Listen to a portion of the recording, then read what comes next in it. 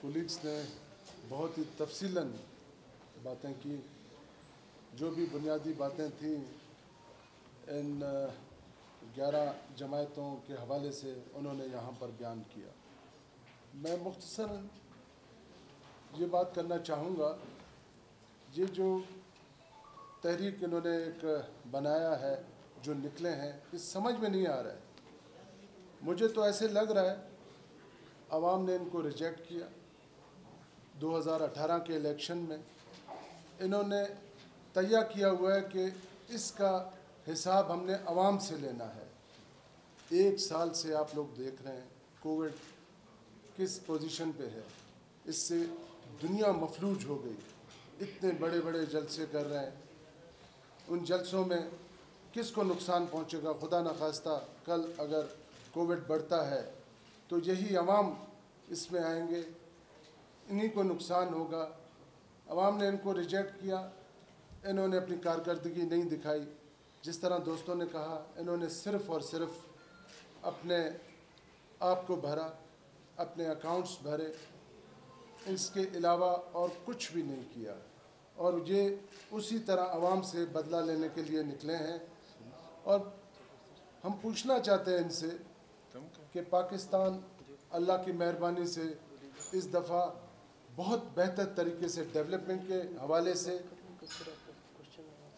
आपका अमन अमान के हवाले से और दुनिया में उसका वक़ार ऊँचा हो रहा है, बेहतर हो रहा है। अपने ही इदारों को इस तरह बात करते हैं, ललकारते हैं, ऐसे लगता है जैसे कि कोई लीडर नहीं, किसी फ़िल्म का कोई विलन बोल रहा हो, सुल्तान राही खिताब कर रहा हो। बहुत ही अफसोस होता है। पाकिस्तान की नज़रें, पाकिस्तान पे दुनिया की नज़रें हैं। ये ख़त्े का एक अहम मुल्क है। इसको डीपली पूरी दुनिया देख रही है और हमारी अफवाज, दुनिया की मानी हुई अफवाज है। हमारे इसी तरह इदारे हैं, वो दुनिया के माने हुए इदारे हैं, अपने अफवाज के बारे में, अपने इदारों के बारे में। ये अल्फाज, ये तो बिल्कुल कम से कम जो भी शूर रखता है, उनके समझ से बालातर है कि किसके एजेंडे पे काम कर रहे हैं, कि किसके कहने पे इस तरह की ज़बान इस्तेमाल कर रहे हैं, इस तरह की बात कर रहे हैं। ये इस मुल्क को कहाँ लेकर जाना चाहते हैं? पहली मरतबा आप देख रहे हैं कि मुल्क डेवलपमेंट हो रहा है, इतने बड़े प्रोजेक्ट्स आ रहे हैं। बलूचिस्तान तरक्की के मराहल तय कर रहा है, बेहतर तरीके से। हर, और खुश आइंद ये बात है कि हर हल्का, हर ज़िले में एक बहुत बड़े लेवल पे काम हो रहा है। इनको ये चीज़ हज़म नहीं हो रही है। इनको इन्हीं चीज़ों का तकलीफ़ है कि ये बलूचिस्तान क्यों तरक्की कर रहा है? ये मुल्क के हालात क्यों बेहतर होते जा रहे हैं?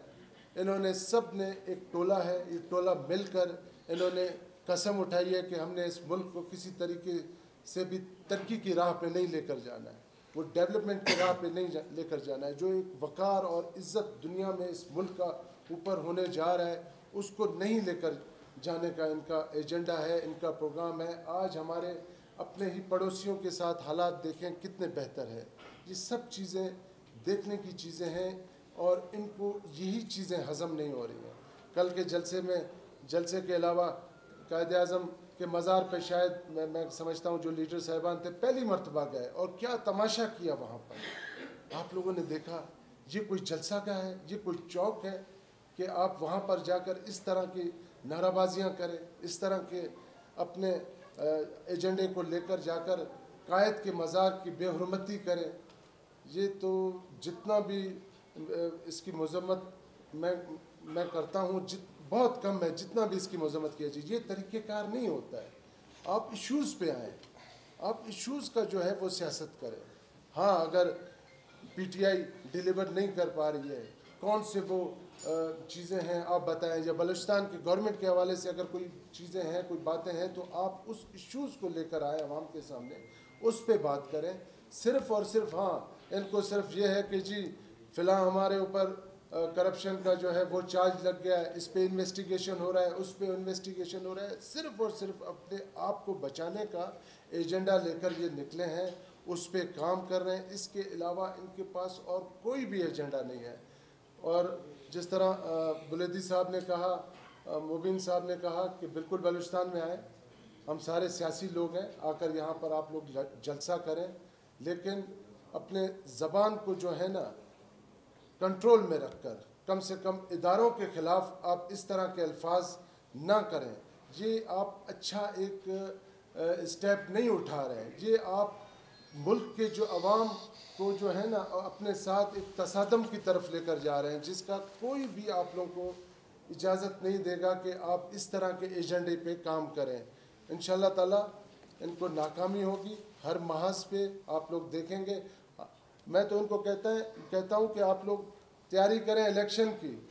अग, अगला जो इलेक्शन है उस वहाँ पर आए वहाँ पर जो भी आपने अवाम की ताकत से अगर हाँ अगर आवाम आपको दोबारा इलेक्ट करती है, अगर पसंद करती है तो आप आ जाए इकतदार में। अवाम ने ही रिजेक्ट किया। यहाँ पर बलूचिस्तान में जो पाँच साल पिछले गुजरे, आप लोगों के सामने हैं। बातें होती हैं, जी, तुरबत में ये हो गया तो वो हो गया। भाई, तुरबत को अगर एक मेंबर अगर पाँच अरब रुपए आप ले जाएँगे तो ज़ाहिर सी बात है, तुरबत के तो दो ही रोड है। और तरक्की हुई है, अच्छी बात है, लेकिन इतना बड़ा पैसा सिर्फ़ आपने अपने सिर्फ़ तो अपने हलके के सिर्फ़ एक शहर में लगाया। ये बात उस वक़्त जचती उस वक़्त अच्छी लगती। आप सूबे के हर ज़िले के हेड क्वार्टर्स पे इस तरह के डेवलपमेंट करते। फिर हम कहते हैं कि वाकई आप अप्रिशिएट हम आपको अप्रिशिएट करते हैं। आप लायक हैं, लेकिन सिर्फ़ एक शहर के चार आपने रोड बेहतर कर दिए। इसके अलावा आप कुछ नहीं कर सके। सिर्फ़ और सिर्फ़ करप्शन के अलावा आप लोगों ने कुछ भी नहीं किया। आज अपने करप्शन को बचाने की खातर ये सारे इकट्ठे हुए हैं। अवाम ने इनको पहले भी रिजेक्ट किया, आइंदे, आइंदा भी रिजेक्ट करेगी और इन ताला ये हुकूमत अपने पाँच साल पूरे करेगी। और इसी तरह, जिस तरह आज के दिन तक काम हो रही है, खिदमत हो रहे हैं, पाँच साल में आप लोग देखेंगे इस मुल्क के और ख़ास तौर पे हमारे सूबे का इन ताला नक्शा ही चेंज हो जाएगा। बहुत बहुत शुक्रिया।